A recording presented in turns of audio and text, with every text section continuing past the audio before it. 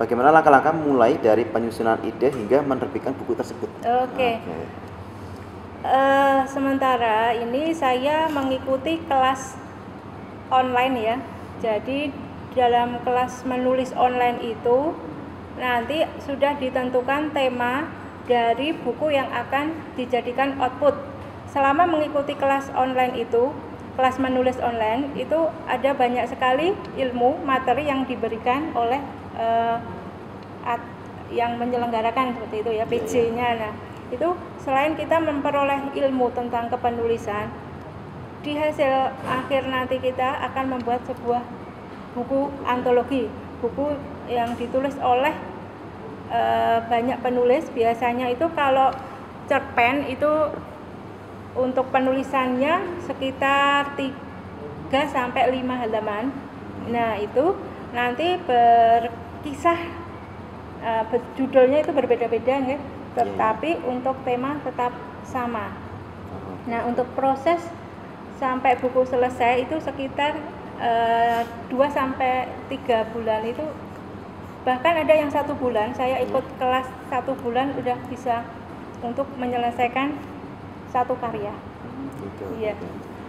Ya itu memang kita untuk uh, sebuah niat itu memang kita butuh pengorbanan dan juga kita harus mengalokasikan waktu dan juga dana ya itu karena ada kelas menulis yang berbayar meskipun banyak juga yang ya, ya. gratis seperti itu yaitu tinggal kita aja hmm, pintar mencari informasinya tersebut.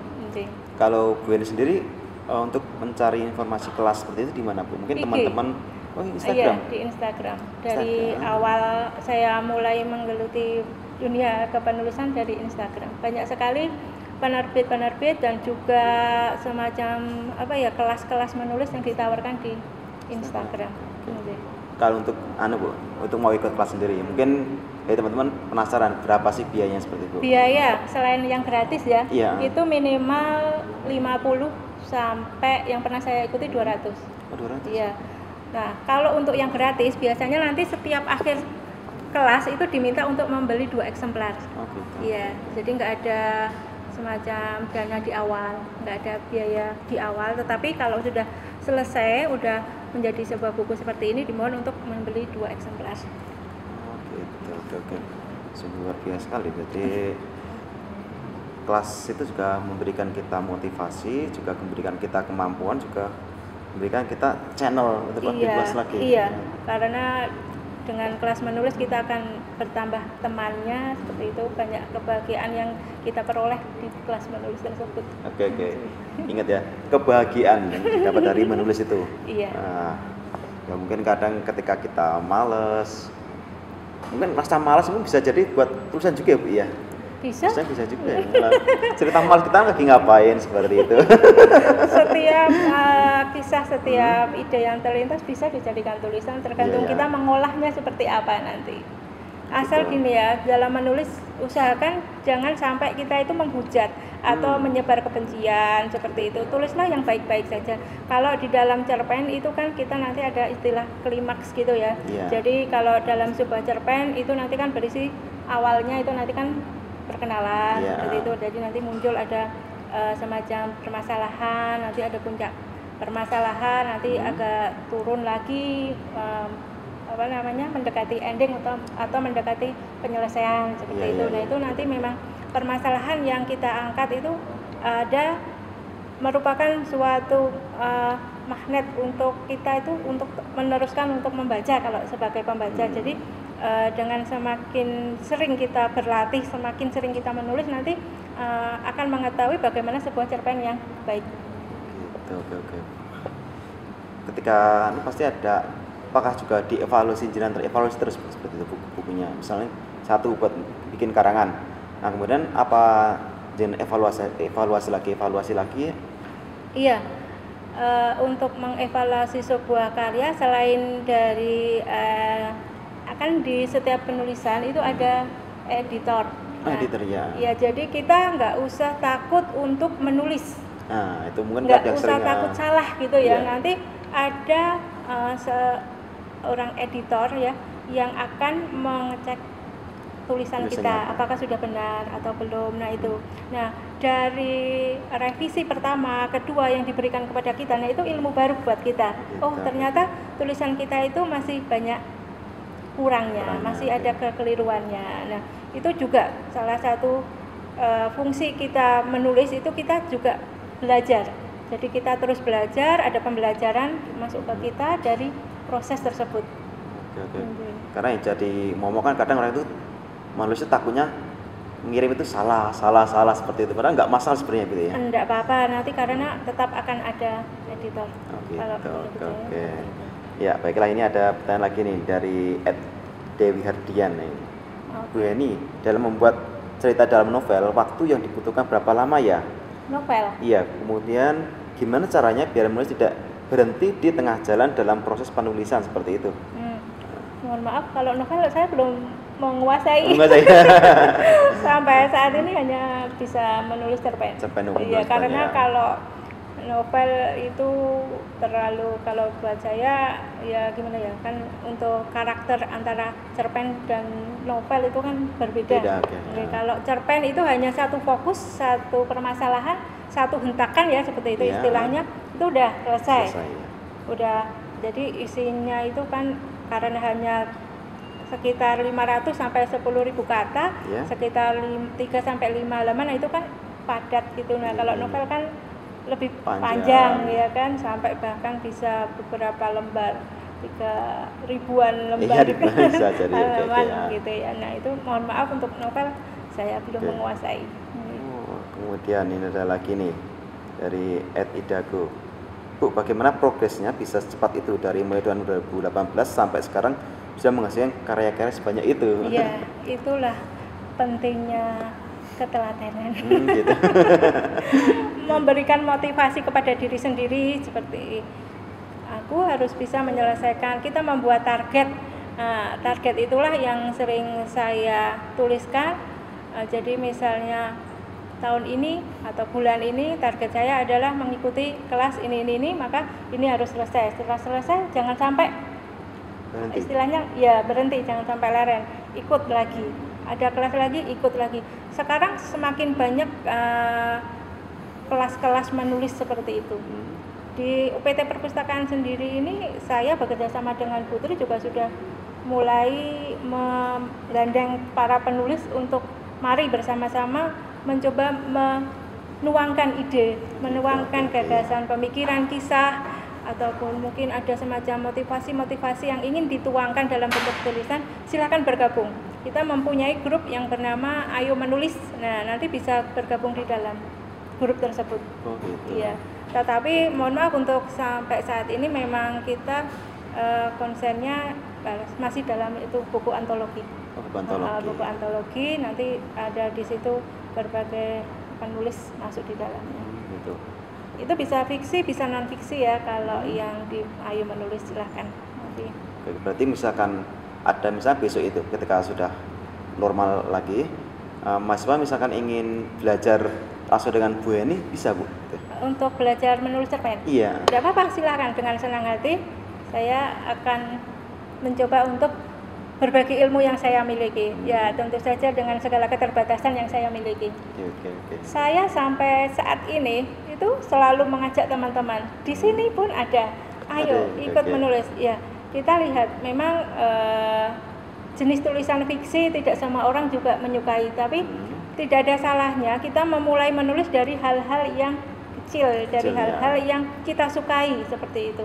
Nah, kalau dari hal-hal yang kita sukai, kita akan me- akan memberikan rasa senang pada diri kita. Nanti Ya. kita akan berlatih terus untuk eh, mencapai suatu tahap penulisan yang lebih bagus. Nah, ini teman-teman di UPT Perpustakaan sini juga udah ada yang mulai saya gandeng untuk Gitu. ayo ikut Iya, menulis. iya. Eh, seperti apa? Ya nanti eh, untuk pembelajaran biasanya akan ada di dalam kelas tersebut. Tapi kalau misalnya ada yang ingin langsung ditanyakan ke saya, silahkan tidak apa-apa. Insya Allah saya akan membantu semaksimal saya. Besok kalau ada session untuk apa selanjutnya mungkin cara penulisan cermen Oh, bisa bisa bisa. Nanti sharing bareng-bareng nanti ya. Oh, Oke, iya. oke, oke. Nah ini, misalkan ada tanya, Bu kalau belajar sama jenengan gratis apa Oh, enggak? gratis. gratis saya sangat Gratis, senang ya. insya Allah ya oke. Eh, saya itu berharap banyak penulis-penulis yang mengikuti jejak saya seperti itu walaupun Hmm. ya eh, dengan hanya menulis karya fiksi tetapi kan sebuah kebanggaan juga ya nanti kita bisa me- apa namanya membuat buku Buat buku, seperti ya, ini. ya, oke. apalagi kalau sudah bisa membuat buku yang solo jadi satu buku nanti ada tulisan kita. Nah itu adalah suatu kebanggaan buat kalau saya pribadi seperti itu. Nah monggo kalau mungkin ada teman-teman yang sepemahaman dengan saya nggak apa-apa silahkan nanti menghubungi saya insya Allah free nanti untuk apa yang ingin ditanyakan akan saya jelaskan sebisa Oke, saya insya siap-siap. Allah Jadi nanti misalkan teman-teman semua yang ingin ketemu Bu Eni nanti bisa main ke ruang pemrosesan buku Bu, Iya, ya? kalau ingin ketemu langsung silahkan. Kalau mau lewat WA ataupun Instagram? Tidak apa-apa, silahkan. Insya Allah akan saya bantu. Wah, sungguh menarik sekali ini. Apalagi misalkan kita pas apa ya masa-masa WFH saat ini ya Bu ya. Ini sekarang masa WFA banyak sekali proyek yang ada sebenarnya Hmm. yang ditawarkan. Enggak berarti masa WFH menulis berhenti itu enggak, justru Iya. banyak sekali. Eh, menulis itu kan disesuaikan dengan tema yang lagi ngetren saat itu, Iya, iya. yang ya yang up to date saat itu. Nah, seperti yang baru-baru saja ini kan dengan meninggalnya di Kempon nah itu kita para penulis itu ada semacam ya keinginan untuk membuat buku buku dari karya-karya beliau. Iya, ada kan banyak sekali ya. Nah itu ini kita membuat tulisan ada sekitar 100 penulis nanti bisa jadi empat buku tapi nggak boleh sama. Nah itu jadi setiap saat itu akan selalu ada momen-momen untuk kita membuat tulisan.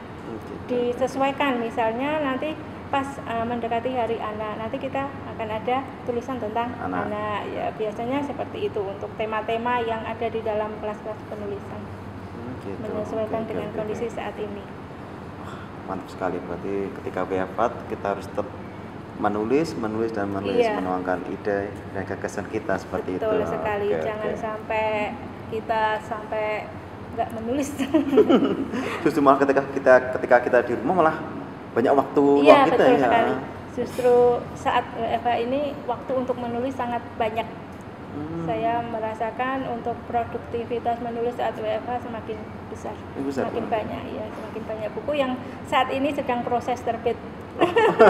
mau menerbitkan lagi nih bu ya Iya, harus selalu, Harus jangan selalu sampai ya? terjeda. Hmm, iya, gitu, ada betul. banyak ini, ada sekitar lima atau enam yang sedang proses juga proses saya menulis, proses terbit juga iya. Berarti ketika kemarin kita mencari informasi itu 50 buku tadi pagi sudah terbit satu buku lagi 51 ternyata dan insya, Allah nanti tambah lagi Insya lima Allah, ke depan Iya, iya itulah. Jadi memang saya nggak pernah langsung stop berhenti gitu Hmm, nggak. gitu, gitu. Selalu mengikuti kalau ada kelas-kelas penulis. hmm, gitu wah berarti ini keluarga gitu juga sangat mendukung, Mendukung sekali ya? terutama ayah dari kecil.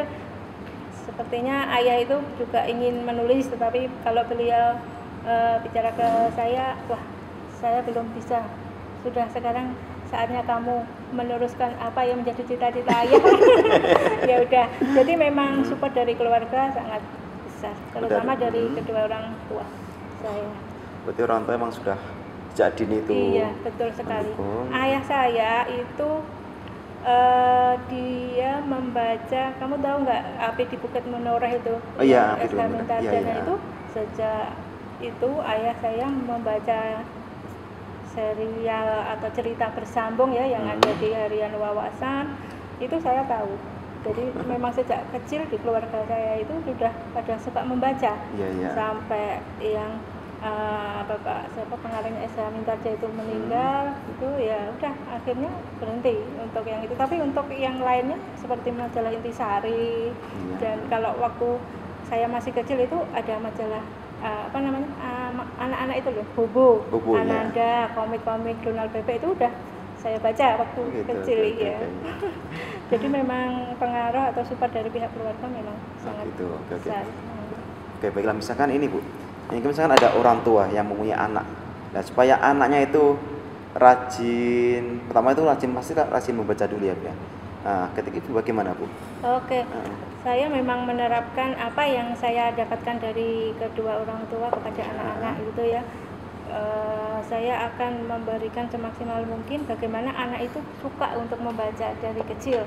Gitu. Eh, jadi saya sering membacakan buku menjelang tidur, menceritakan atau kalau enggak ya dongeng versi saya sendiri. Tidak harus menjelang tidur pun kalau memang ada waktu luang disempatkan untuk bercerita Oh, gitu. kepada Oke, anak. oke, Itu oke. saya tanamkan sejak dini. Sampai ketika anak saya seperti itu ada suka juga untuk membaca. Baca. Hmm, Oke, oke, oke. Yang terakhir ini yang eh, TK itu juga Hmm. kalau menjelang tidur ini minta dibaca Bacakan dongeng? buku iya. Nggak hanya satu sampai tiga buku nanti baru mau tidur Berarti memang cara mendidik anak itu memang harus dari dini ya, Bu ya? iya betul sekali efeknya akan kelihatan anak nanti akan bisa bercerita tanpa kita minta seperti apa yang kita ceritakan sebelumnya Hmm. kita bakal kaget kalau melihat ada anak bisa bercerita pada temannya bisa Iya. bercerita pada saudaranya seperti apa yang kita ceritakan kepada anak Iya, iya. Gitu. Wah.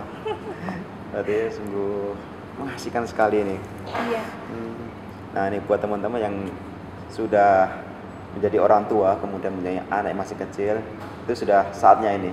Kita ketika ada waktu harus memberikan, mendengungkan, menceritakan dari buku atau dari pengalaman pribadi yang positif seperti itu iya ya. betul sekali Mas Alwi Iya. Wah, obrolan kali ini memang sangat mengasihkan sekali ini ya. Alhamdulillah Iya. ya sedikit berbagi tentang apa yang saya miliki Hmm. Oke oke oke wah. Kemudian bu, eh, saat ini kan eh, keluarga juga mendukung, kemudian anak-anak pastinya eh, juga mendukung sekali ya bu ya. Iya, Mm-mm. Betul. Untuk ketiga anak saya itu juga udah mulai ada yang hobi menulis juga itu kayak. Sudah ada yang ya semampu dia lah. Iya, iya. Dia kan masih usia juga masih ada yang anak-anak SD seperti itu, tapi juga dia sepertinya mengikuti bakat saya untuk menulis walaupun ya semampu dia. dia sering sekali menulis di buku diarinya dia. Oke oke oke.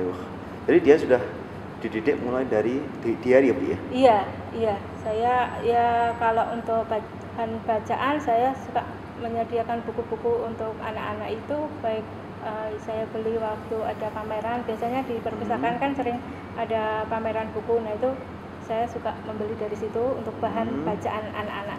Itu Oke, kalau oke. untuk pembelian buku sejak mulai anak yang pertama itu saya sudah mulai untuk membelikan.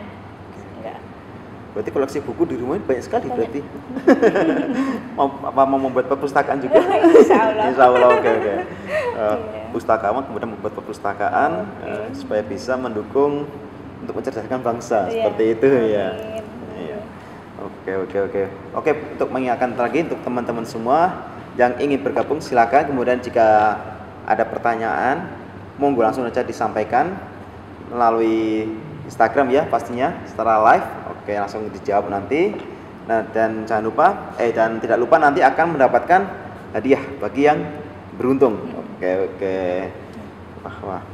Nah, ini bu. Kemudian ada lagi bu. Jika ada pertanyaan gini bu.